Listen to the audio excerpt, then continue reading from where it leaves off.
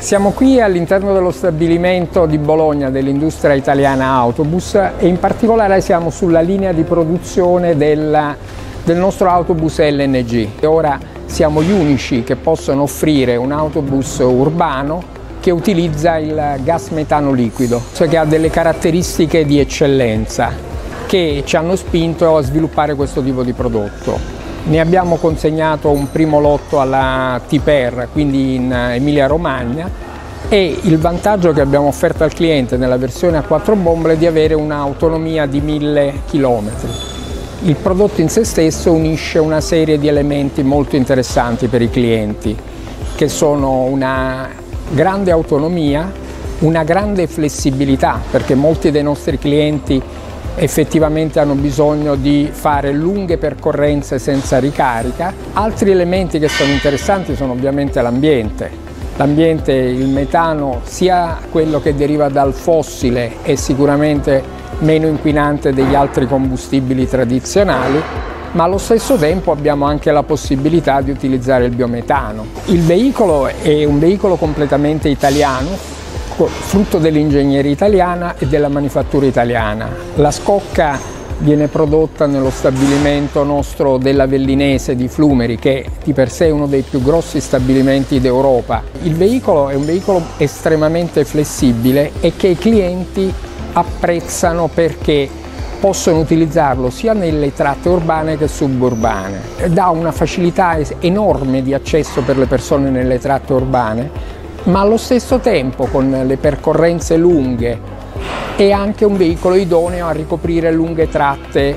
Ovviamente offriamo il veicolo sia in classe 1 che in classe 2, quindi come un veicolo prettamente urbano o prettamente suburbano, offrendo nel secondo caso anche tutti i vari requisiti di sicurezza, dalle cinture di sicurezza e, e una maggiore velocità che sono richieste in queste tratte.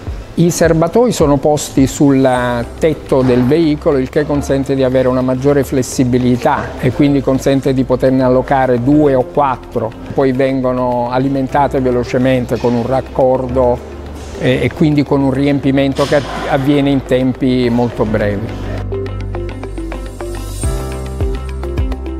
Tipper SPA è un'azienda che eroga servizi di trasporto pubblico su gomma nei bacini di Bologna e di Ferrara è un'azienda eh, da 2400 dipendenti con 1200 autobus. Eh, Tipper eroga eh, 42 milioni di chilometri vettura su gomma. L'ambiente dà delle opportunità alle aziende se e soltanto se le aziende hanno delle strategie reali sul lungo periodo. Abbiamo cominciato nel 2016 anche la strategia, in particolare per gli autobus interurbani, del metano liquido.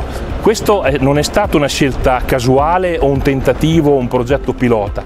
Abbiamo applicato alla lettera le indicazioni della direttiva comunitaria 94-2014 sui carburanti alternativi e abbiamo eh, effettuato le prime due gare, i primi due tender europei per autobus alimentati a metano liquido, acquistando dei progetti, uno da Scania e uno da Industria Italiana Autobus, dei quali abbiamo due esemplari alle spalle e quindi il primo tender per autobus est-urbani vinto da Scania era di 15 autobus, questo secondo tender che si è aggiudicata Industria Italiana Autobus nel 2017 è stato quello per autobus cosiddetti metropolitani. Il motore dell'autobus a metano liquido è esattamente lo stesso motore dell'autobus a metano compresso non hanno bisogno delle verifiche periodiche che, alle quali invece sono soggetti i serbatoi del metano compresso. Per quello che riguarda i serbatoi dei nostri autobus a metano liquido abbiamo sia serbatoi della CHART e sia serbatoi dell'HVM, una realtà nazionale che eh, appunto ha collaborato con IA allo sviluppo di questi, di questi autobus.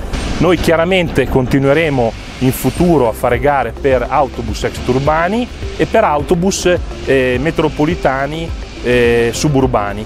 Il progetto di Tipper è quello di implementare questa flotta in modo significativo, quindi sicuramente oltre i 100 autobus, cioè per noi le, tutti i tipi di trazione, elettrico, eh, metano liquido, metano compresso, trazione ibrida, sono assolutamente in futuro anche idrogeno, sono assolutamente paragonabili, quindi per noi non esiste il conflitto. Si tratta di parlare di tempi di realizzazione e di disponibilità del mercato nel momento in cui abbiamo la possibilità di avere bio-LNG come noto da studi scientifici super partes, abbiamo nell'utilizzo nel well to wheel completo dal pozzo alla ruota una riduzione della CO2, non una minore emissione e quindi riducono l'effetto serra anziché aumentarlo.